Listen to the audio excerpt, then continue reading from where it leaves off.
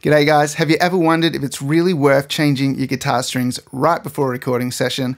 Well, you're in luck. I have my trusty Australian-made Maton SRS 808 acoustic guitar here, and the strings are about four to five months old on this baby. So a little bit of neglect, but they don't sound that bad. Kind of like the old warm sort of string sound, but what we're gonna do is do a quick take playing through with these old strings. I'm gonna restring it and then we're gonna do the exact same thing and we're gonna cut between the two takes and see if there's really that big of a difference.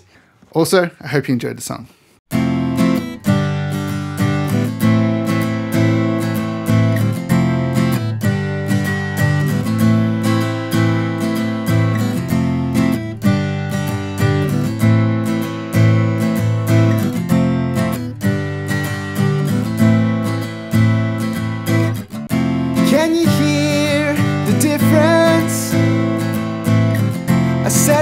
Fresh new strings can make.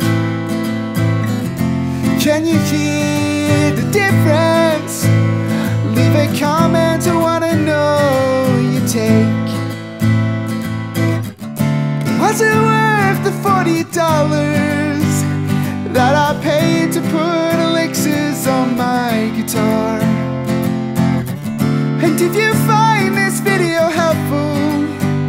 make sure you hit that like button and don't forget to to subscribe.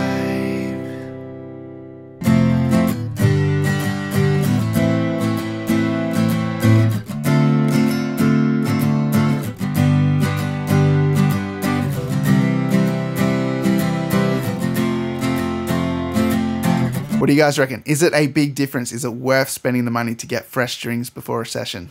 Let me know in the comments. Thanks for watching, guys. See you in the next one.